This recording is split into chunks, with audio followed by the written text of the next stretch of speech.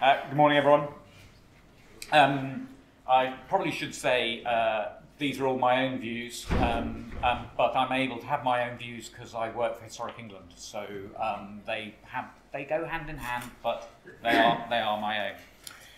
Um, it's now nearly 30 years since PPG 16 introduced the concept of the developer pays in mitigating the impact of development uh, on archaeology in Britain.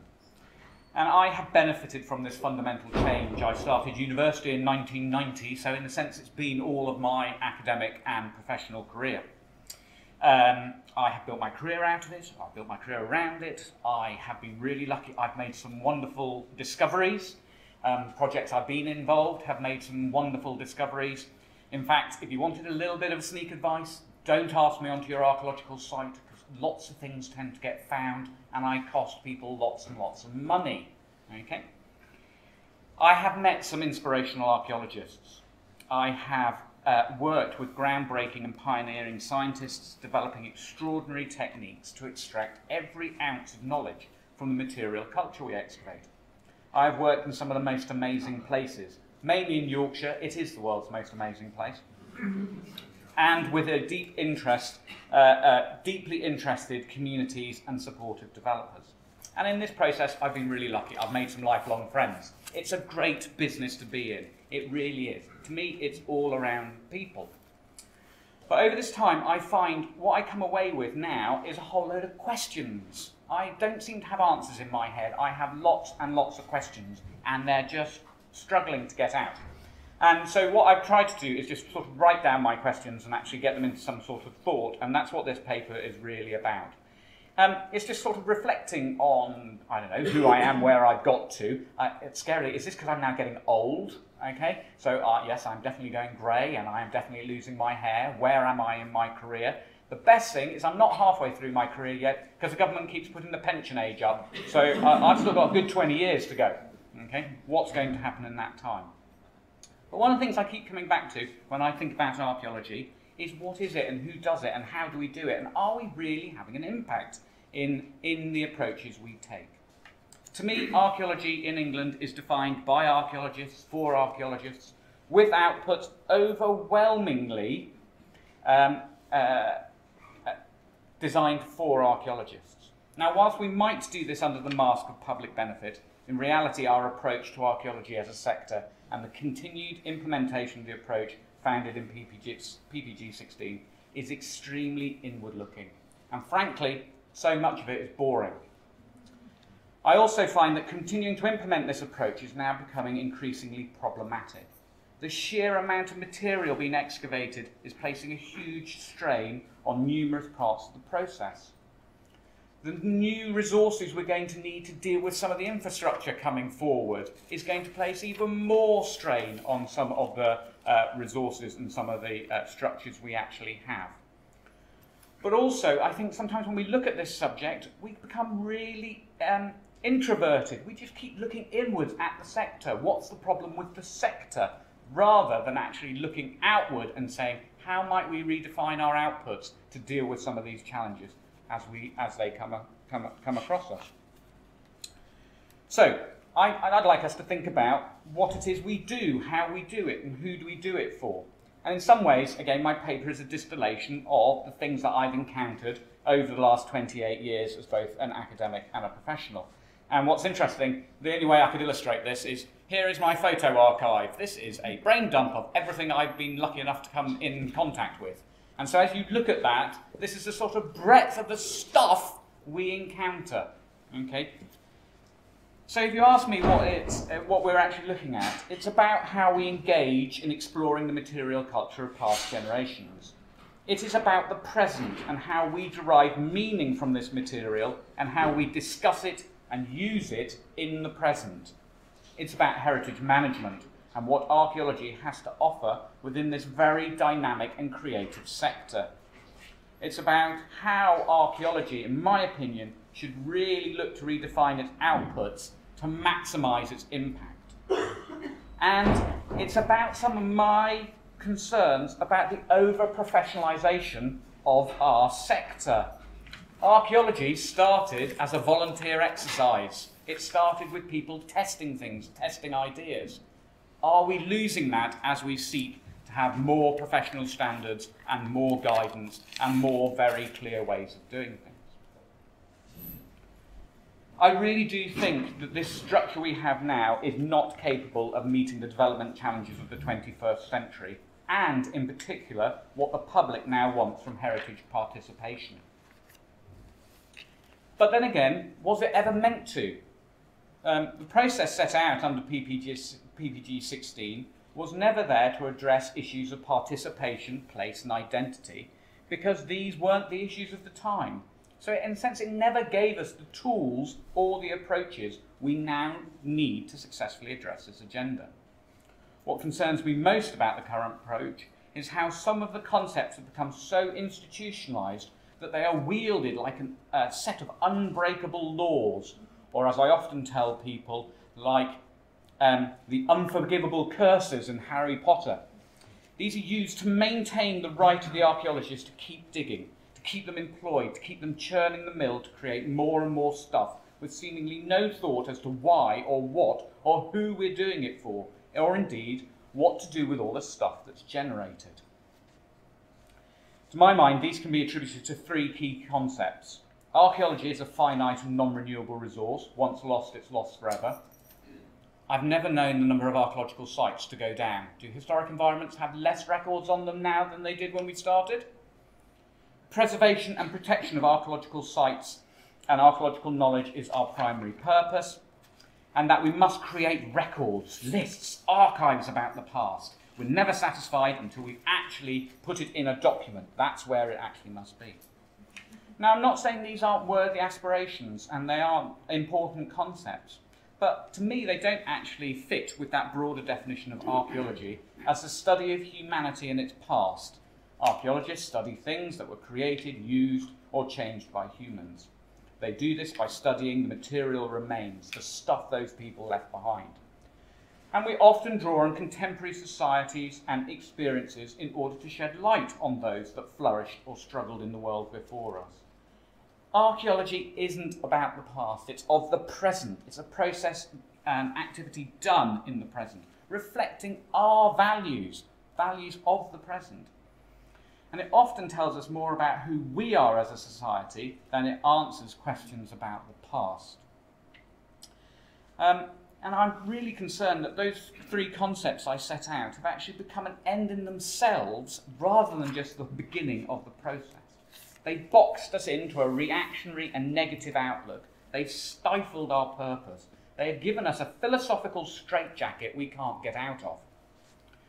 But I feel we must. I think we must refocus on the cultural value of our interventions, the knowledge gain of interventions, the social gain from understanding uh, and the discussions, conservation, conversations set up by our interventions. In some ways, the fun of doing it, of being there, of actually participating.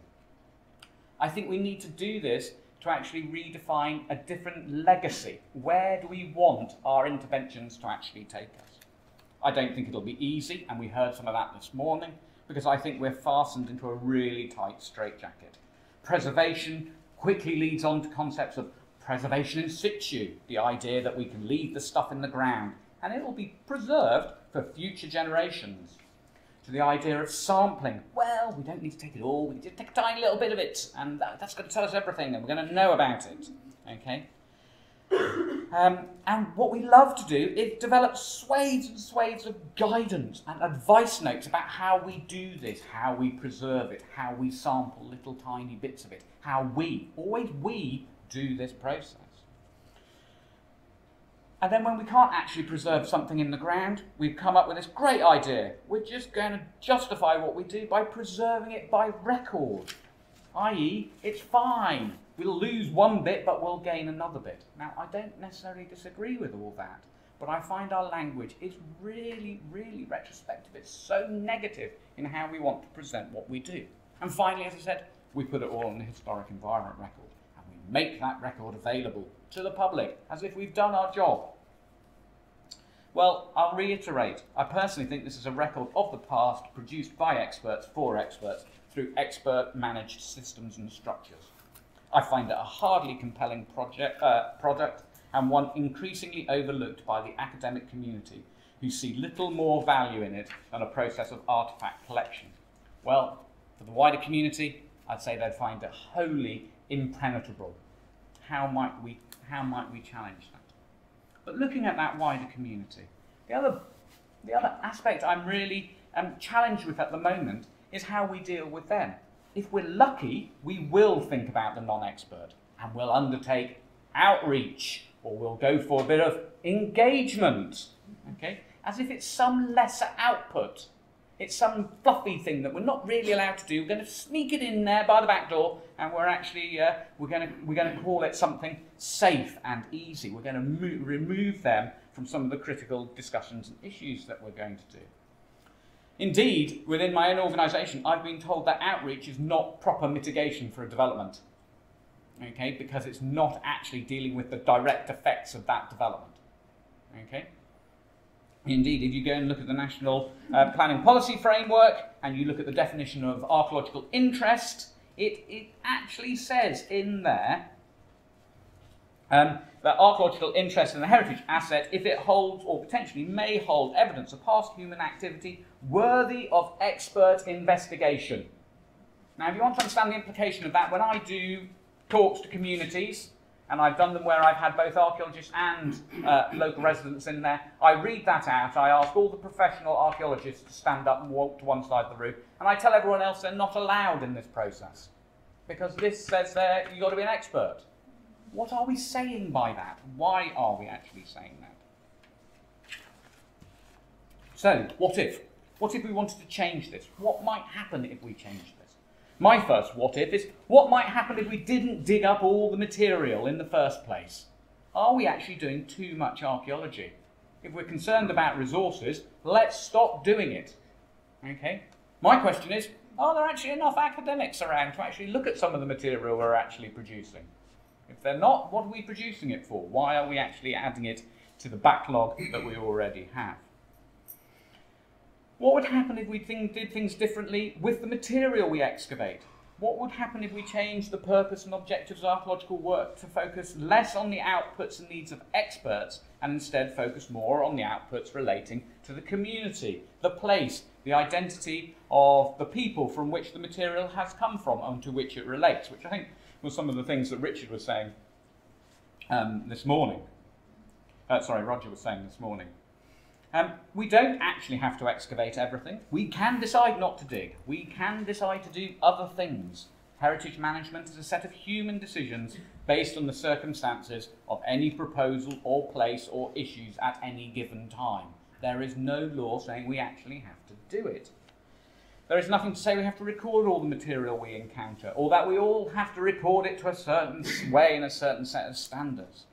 An approach that sees us digging less might actually allow us more time and space to use the material and the knowledge generated by excavations that we really want to do, both in the academic context and with the public, and then take that material and do something more creative with it.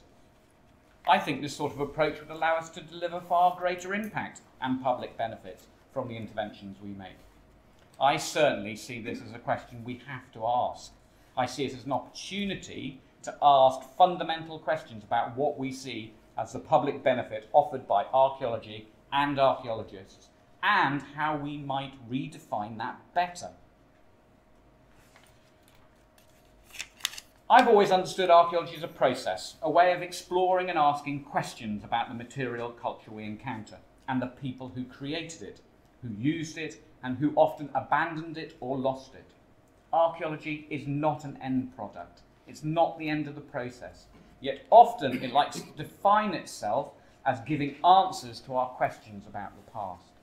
I often encounter archaeologists who tell facts about the past as if they have uncovered the truth and that they have written the history of a place that will remain that way for future generations. One of the fundamental parts of my uh, delving into academia was actually to look at the very process of how archaeology as a historic subject has changed and evolved over time, and heritage management. They've never been static. Archaeological theory and concepts have constantly changed. So again, this idea that we want to write the perfect past, I have real problems with on occasions. because it's not. It's dynamic. It's fundamentally changing all the time. I also think that approach of wanting to find out about the past and write about the past actually downplays the greatest asset archaeology has the ability to ask, set, and explore questions about places, people, and the past with the very people who live there and occupy those places today. So Roger was really clear about how we might lose localism to get local, very local research frameworks. I want to know how do we get the people to write the questions? How do we get them to set our agenda more directly? I don't believe we can ever uncover the truth about the past, as the entire process is far too subjective, and the facts that we might want to present are far too open to interpretation. And I think we should just lighten up about that and just accept it, because actually there's a lot of energy and power when you actually get to that place. Subjectivity we should see as our greatest opportunity to engage with people, to help them set and understand the questions they may have about themselves, their place, their story, their past, and their society.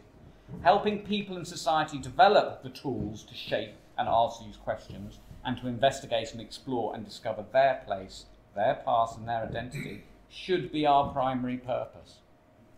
I'm often struck how limited our audience is for some of the professional work we do, yet how huge the wide ranging enthusiasm for the subject is as a whole. People are fascinated by the endless questions of who do you think you are and what's the story of my place? Yet again, as I say, we seem to belittle this professionally, this subcategory of academic excellence known as outreach or engagement. Okay? I don't believe that's what we should be doing. They should be our primary purpose. Now, don't get me wrong, I'm not about putting down the importance of rigorous uh, uh, academic approach to archaeology. Okay? It's an essential element of our work, and when we increase our knowledge about the past, we demonstrate how, in part, we benefit society. I feel we just need to do much more about how we apply that knowledge. Um, I see a refocusing of our outputs as a way to create the space to bring academic, professional, and the community back into a more mutual partnership in asking and defining those questions we really see value in focusing on. Okay? The, the knowledge gain of anything we do must be a key component, it must be a key output. How does knowledge gain drive what we actually do? But I'm strongly behind the idea of putting people, communities, and society first in considering the outputs of our work. At present, we're very happy to say we do it in the name of the public, but in reality, we, uh, we rarely translate this into positive action. All of our engagement tends to be done on our terms. Practice shows that we will bring the public in when we have something to say or some finds to show off. Rarely do we embed them in the process of setting and shaping the questions, the agendas that we and they might want to look at when we start to ask questions about places, or the, uh, the whole concept of the questions they would like to ask about places. I strongly believe we need to invest in a more public first set of outputs, which are not focused on preservation, archiving, or the creation of endless lists. These are just technical aspects of our work and often strip away the very main element of the process that makes archaeology so captivating. The thrill of the search, the find, the knowledge gained, the experience of just doing it. We need to stop doing heritage conservation by audit as, the, as it benefits no one in the long term and, res, and results in just another long list of stuff. My, my clearest example I can give you about this, we have been doing a project in York around Clifford's Tower and the Eye of York. Okay, it's been a really difficult site to develop for over 20 years. A new project started, new set of consultants, and at the very beginning I told the set of consultants, please don't give me a heritage audit, I know what the designated assets are here. Okay, what did I get? At the first sentence in their report, this site consists of these designated heritage assets. They didn't even touch on what the significance of this place was, okay, or what it meant to the people who were actually there. Archaeologists fundamentally need to get better at understanding the places they work in so they can start to articulate the values that people in those places might have or ascribe to things. Archaeology, as I said, needs to be about place shaping. It needs to be about cultural experience. and the creation of cultural value and understanding. To me, this is a much broader definition of public benefit for archaeology as an engaging and democratic process directly linked to the right of everyone to engage in this process, the right to help shape outputs, to participate in sustaining the material culture we encounter, and actively to shape the values we ascribe to the stuff we excavate. This is not a new concept. A force for our future, power of place had it. It's a fundamental concept of the first two principles of historic England's conservation principles. The historic environment is a shared resource, and everyone should be able to participate in sustaining the historic environment. They're 20 and 10 years old, respectively, those documents, yet they still have failed to deliver a comprehensive change in practice, approach, or outputs. Now, again, I'm working in England, so I would say it's, it's England. I think some of the things we heard this morning, you know, there are different approaches in the home nations that are taking things different ways. But why are they failing? Um, in my experience, the answer is simple. It's been really easy for us to change our language. So we, we do outreach, we do inclusion, but actually we haven't changed our practice. We haven't actually changed the way we really do things. We haven't done that fundamental change that I would, uh, I would want to see. Good one, that. Uh, we are even more reluctant to go out to the public and ask them to set the questions for us. Yep. Instead, we choose to, behind, to hide behind the veil of expert and expertise to sustain our self-justification in, the, in our right, the right of the professional, to set the questions and dictate the agenda. Now, I'm not, I'm not here to belittle the role of the expert. I'm, I'm constantly told, told I am an expert. I work for Historic England, so I am an expert. Okay? What I'm really interested in is how we use our expertise. To me, it breaks down into two areas, knowledge and skills. Okay? And actually, when I go to most places, I seem to gain a lot more knowledge from the people who actually live and work there than I necessarily bring to those places. So not why I like talking about knowledge is a two-way transfer thing. It goes backwards and forwards. What are the skills? What are the skills I need to do that really well? Again, some of the presentations we heard this morning, empathy came up a few times. The ability to listen better.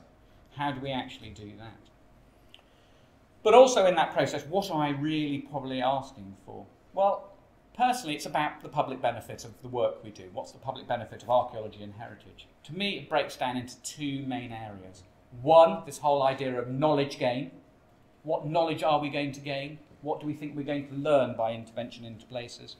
And then the second one is this whole concept of wider cultural participation. Um, yesterday I spoke about heritage as democracy.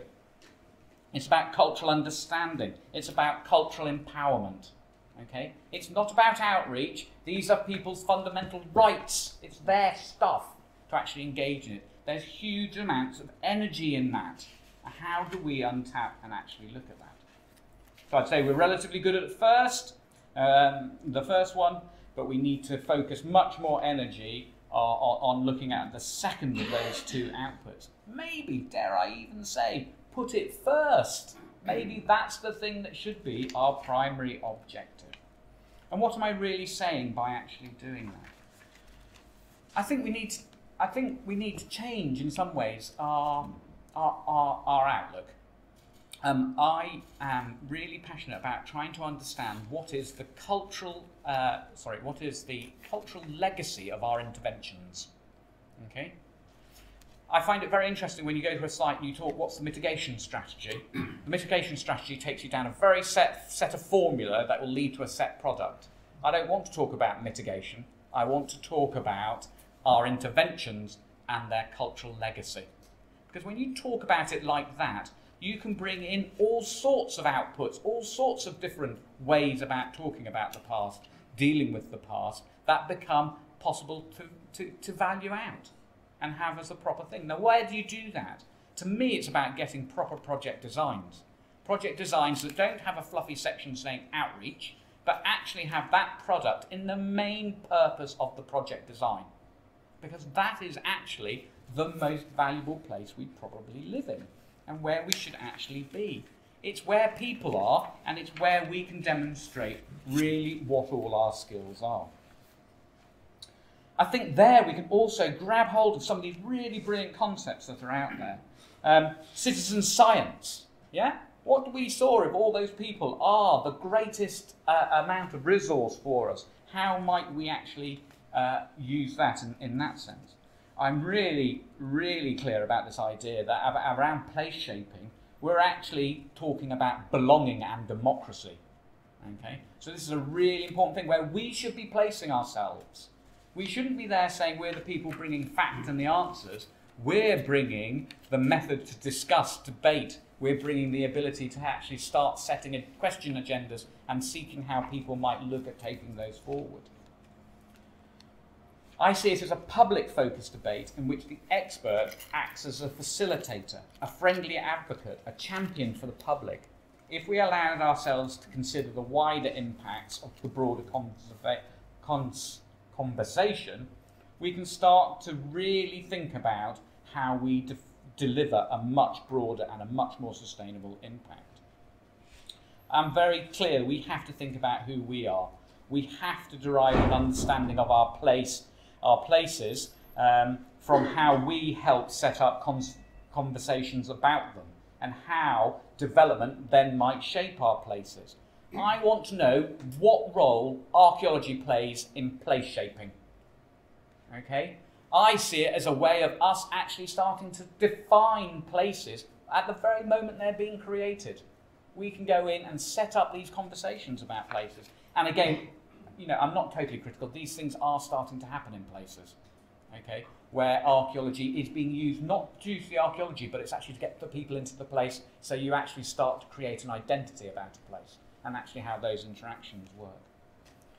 So really to me, it's about moving away from this endless creation of lists, the desk-based heritage audits that say little about meaning, um, to one of more uh, directly of community ownership and participation. It's about the public defining the questions, about what, what they want to ask, um, and creating a more sustainable purpose. Ultimately, to me, it's about creativity and not preservation. The job we do is all about creating cultural value. It's about recognizing cultural value. We should see ourselves as a creative industry. Okay? We are no different to the arts in that process. And it's really important that actually we start doing that. That's why we should be able to use all their techniques about how we uh, interpret and tell the stories that we actually encounter.